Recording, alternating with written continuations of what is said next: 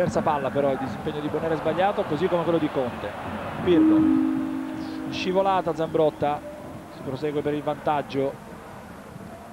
Pirlo in profondità per Baggio, posizione regolare, Baggio, attenzione, porta vuota, Baggio, rete! E Roberto Baggio fa ammutolire il delle Alpi, 1 a 1. E la tradizione di, che dicevo che Baggio non ha mai perso con le proprie ex squadre, fino a questo momento si è verificato perché ha pareggiato una partita che sembrava quasi compromessa per il Brescia, invece 1 a 1 adesso i problemi sono senz'altro della Juventus. Delle Alpi ammutolito delle Alpi ammutolito la gente quasi non ci crede si sente l'esultanza dei tifosi del Brescia 1 a 1 e questo attenzione signori potrebbe essere un momento importantissimo per eh, questo campionato.